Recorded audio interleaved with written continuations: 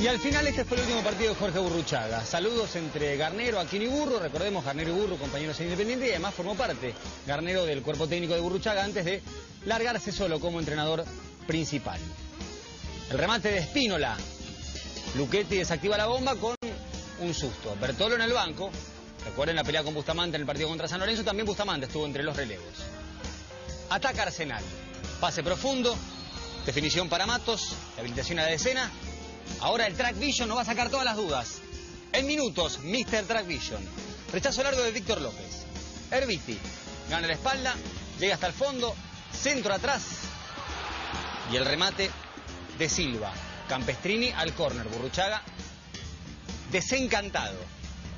Pero va a tener motivos de alegría. Víctor López, Ferreira, Broggi y el árbitro cobra penal por falta de Matellana Silva. El árbitro fue Javier Ruiz. Reemplazó a Pompey que se había enfermado. Era él originalmente designado. ¿Fue penal? Lo provoca Silva. Y lo transforma en gol Luchetti. A los 43 del primer tiempo. Será también una tarde importante para Luchetti. Papu Gómez y Castellone, ex compañeros en Arsenal. Castellone suspendido, Papu Gómez en San Lorenzo antes de viajar a Santa Fe. Otra chance para Arsenal, otro pase para Matos y otra acción empleada por Offside. Otro tema para el track vision. Y llega esta acción. 27 del segundo tiempo y hay penal de Campestrini a Fernández.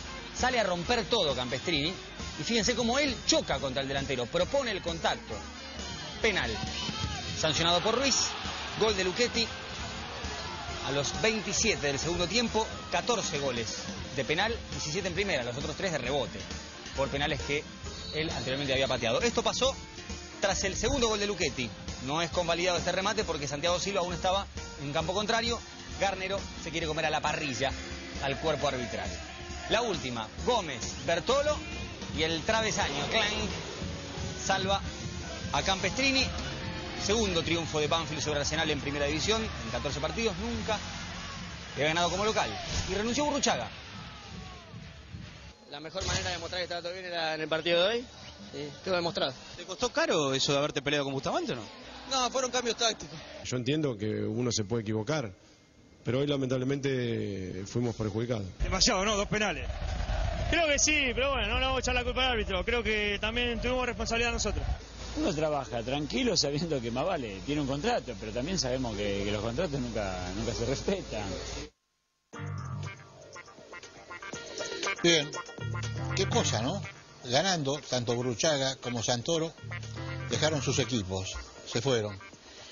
Y se suman a la lista de